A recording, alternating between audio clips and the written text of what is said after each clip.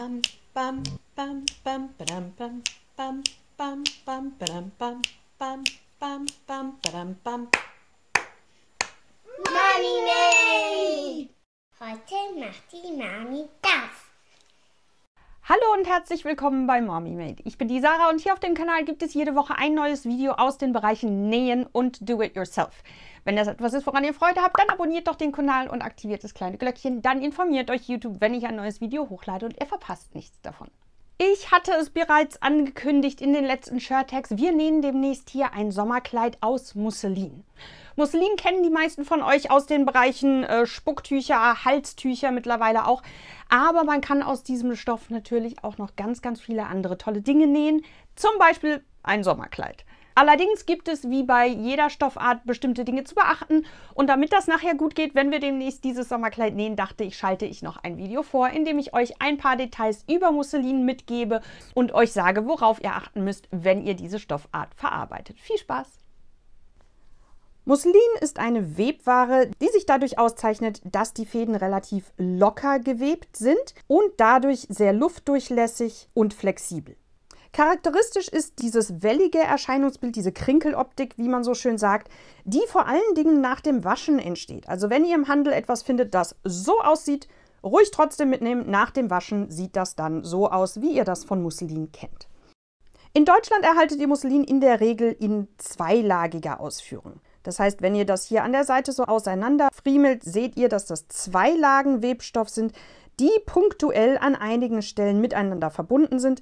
Durch diese Zweilagigkeit ist natürlich eine gewisse größere Stabilität gewährleistet, auch mehr Blickdichte.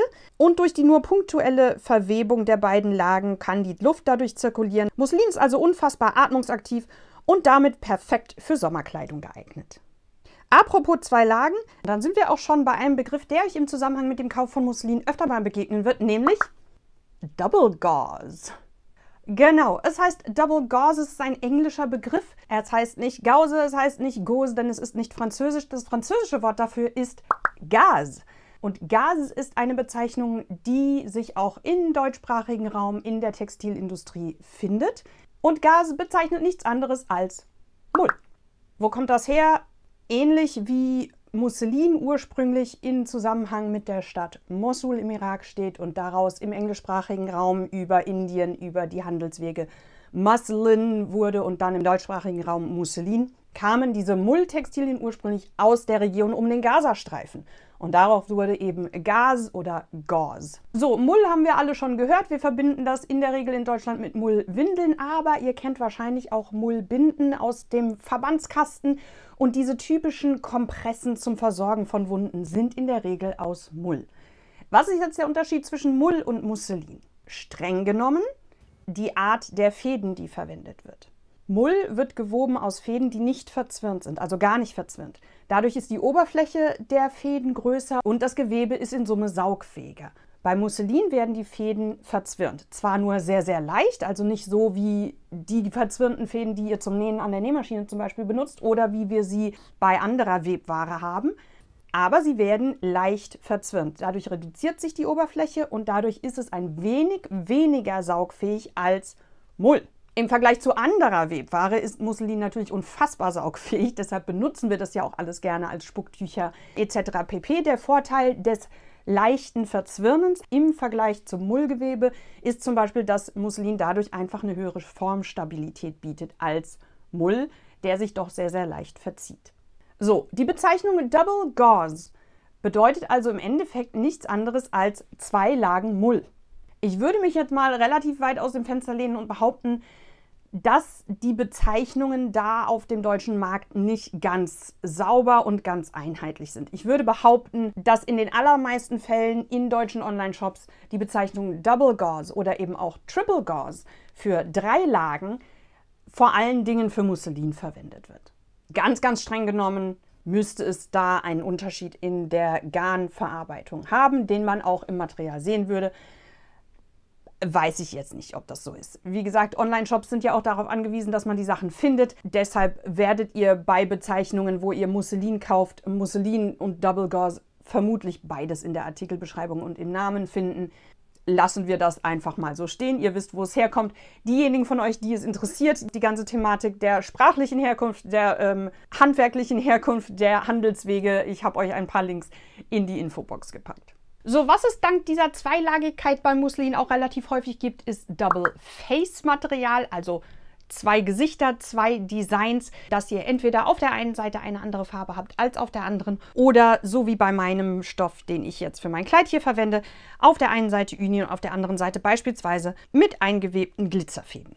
Wichtig für uns ist ja primär, wie wir das Zeug verarbeiten. Und wichtig in dem Zusammenhang zu wissen sind vor allen Dingen zwei Dinge, nämlich zum einen, dass Musselin unfassbar stark einläuft, also bis zu 30 Prozent und sehr, sehr stark ausfranst. Ihr solltet beim Kauf also schon darauf achten, dass ihr etwa 30% mehr kauft, als ihr normalerweise kaufen würdet, denn das Zeug wird euch einlaufen. Das andere ist, dass ihr diesen Stoff auf jeden Fall vorwaschen müsst.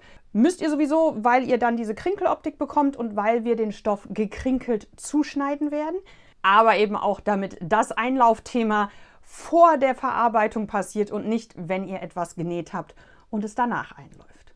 Wascht den Stoff so vor, wie ihr das später daraus verarbeitete Stück waschen werdet. Also wenn ihr daraus ein Halstuch näht oder ein Stilltuch für euer Kind und ihr sagt, okay, Stilltuch, da wird drauf gespuckt, das werde ich auf jeden Fall bei 60 Grad waschen oder vielleicht sogar kochen, dann macht das in der Vorwäsche auch.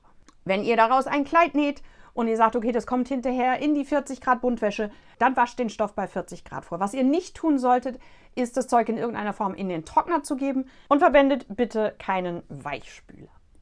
Wovon ich auch abraten würde, wäre den Stoff später zu bügeln, denn wie gesagt, dann machen wir uns diese Krinkeloptik wieder dahin. Das Krinkeln ist ja nichts anderes, als dass diese Fasern sich so ein bisschen zusammenziehen und wir wollen den Stoff später auch genau so zuschneiden, weil wir ihn ja so vermutlich später auch tragen werden. Wenn wir den bügeln und damit alles plätten und dann so zuschneiden, später waschen, krinkeln, ist das gleiche wie einlaufen. Wollen wir nicht. So, da der Stoff, wie erwähnt, unfassbar stark ausfranst, könnt ihr euch überlegen, ob ihr die Ränder schon vor dem Vorwaschen einmal mit der Overlock oder der Nähmaschine versäubert, damit ihr nicht schon beim Vorwaschen diese Ausfranz-Thematik habt. Wem das nichts ausmacht, da hinterher irgendwie zwei Zentimeter ringsrum wegschneiden zu müssen, der lässt das bleiben und spart sich die Arbeit. Aber es macht möglicherweise Sinn. Ihr müsst auch nicht, wenn ihr jetzt zwei Meter Stoff gekauft habt, eine zwei Meter lange Strecke abnehmen. Ihr könnt das gefaltet einmal durch die Overlock schießen. Einfach, dass die offenen Kanten versäubert sind. Dann franzt euch in der Maschine nichts aus. Bitte nicht in den Trockner, das hatte ich schon erwähnt. Beim Trocknen auch ein bisschen darauf achten, wie ihr das Ganze trocknet. Wenn ihr das jetzt auf die Wäscheleine klemmt und da Wäscheklammern reinmacht, diese Abdrücke von den Wäscheklammern, die kriegt ihr hinterher auch nur schwer wieder raus, weil wir ja den Stoff nicht bügeln wollen. Also guckt, dass ihr das Ganze vielleicht möglichst flach auf den Wäscheständer drauflegt, dass das in Ruhe trocknen kann, ohne irgendwelche Abdrücke zu kreieren. So, unseren fertig gewaschenen und folglich jetzt krinkeligen Stoff schneiden wir dann gekrinkelt zu. Kreide funktioniert dann nicht so gut wie Trickmarker, da müsst ihr ein bisschen ausprobieren. Aber weil der Stoff eben stark ausfranst, müsst ihr damit rechnen, dass ihr jedes Schnittteil außenrum versäubern müsst, entweder an der Overlock oder an der Nähmaschine. Und es empfiehlt sich, eine großzügige Nahtzugabe zuzuschneiden.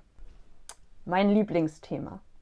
Bitte, bitte macht euch bewusst, dass eine große Nahtzugabe zuzuschneiden nicht bedeutet, dass ihr an irgendeiner anderen Stelle näht, als euer Schnittmuster das vorgibt. Wenn ihr 2 cm Nahtzugabe zuschneidet, müsst ihr auch 2 cm vom Rand entfernt nähen. Wenn ihr 1 cm zuschneidet, müsst ihr 1 cm vom Rand entfernt nähen. Lange Rede, kurzer Sinn. Wir brauchen eine große Nahtzugabe, weil der Stoff dazu neigt, auszufransen. Weil wir nicht nur eine Naht setzen werden, sondern eine Versäuberung und ein bisschen Platz lassen wollen, falls da irgendetwas passiert. Alles zum Thema Nahtzugabe. Wie sie gedacht ist, wie man sie zuschneidet und auch näht, so dass der Schnitt von Kleidung nicht verändert wird, erkläre ich euch sehr, sehr ausführlich in diesem Video. Bitte, bitte seht es euch an. So, ich versäubere die Ränder in der Regel an der Overlock. Das Nähen von Kleidung mache ich bei Musselin an der Nähmaschine, weil es ein nicht dehnbarer Stoff ist und ich deshalb eine nicht dehnbare Geradsstichnaht bevorzuge. Man kann das auch an der Overlock nähen. Wie haltbar das dann ist, Weiß ich nicht, weil ich das so nicht mache.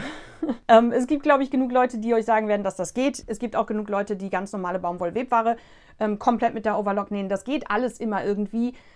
Ich persönlich finde es sauberer, wenn man Muslin an der Nähmaschine näht. Dann kann man eben die Nahtzugaben auch auseinanderklappen, äh, die Ränder einzeln versäubern. Es wird dann auch nicht so dick. Ist meine präferierte Methode. Müsst ihr ein bisschen selber gucken, wie ihr es macht. An der Nähmaschine stelle ich, wie erwähnt, einen normalen Geradstich ein, allerdings mit etwas höherer Stichlänge, in der Regel bei mir so drei. Grundsätzlich empfiehlt es sich, wie bei allen Stoffen, ein paar Reststücke bereitzuhalten und darauf zu experimentieren.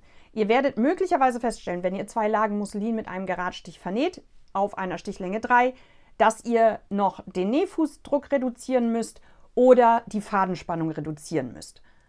Wie gesagt, probiert darum, nehmt euch die Zeit. Euer Nähwerk hinterher wird es euch danken. Euer Erfolg wird größer sein, wenn ihr das nicht beim Nähen eures Nähwerkes feststellt, dass ihr noch irgendwas einstellen müsst, sondern diese Experimente einfach vorher macht. Ich verwende zum Nähen eine Universalnadel in 75er oder 80er Stärke. Damit bin ich bisher ganz gut gefahren. Und wie gesagt, das A und O ist vorher auszuprobieren. Und zwar bei Muslin vor allen Dingen, weil der eben relativ leicht gewebt ist und nicht sehr fest. Probiert vor allen Dingen auch aus, mal Rundungen zu nähen an der Nähmaschine und eine Strecke quer zum Fadenlauf. Denn das sind die Strecken, bei denen sich der Stoff am ehesten verziehen wird, wenn zum Beispiel euer Nähfußdruck zu stark ist. Wenn ihr daran nicht allzu viel ändern könnt an eurer Nähmaschine, probiert das aus. Wenn ihr feststellt, dass in den Rundungen oder eben quer zum Fadenlauf sich der Stoff doch arg verzieht und hinterher wellt, was wir ja nicht wollen, dann besorgt euch ein Nahtband, bügelt das auf die Ränder auf, dann habt ihr dieses Problem eliminiert. So, das war's von meiner Seite zum Thema Musselin. Beschafft euch welchen, wenn ihr nächste Woche schon direkt anfangen wollt und mit mir dieses Sommerkleid anfertigen möchtet. Ich freue mich in jedem Falle, wenn ihr das tut. Abonniert am besten den Mommymade-Kanal und aktiviert das kleine Glöckchen. Dann informiert euch YouTube, wenn hier neue Videos online gehen und ihr verpasst nichts davon. Ich freue mich, wenn ihr wieder reinschaltet. Ich freue mich, wenn ihr dann das Musselin-Sommerkleid mitnäht und sage Tschüss, bis zum nächsten Mal.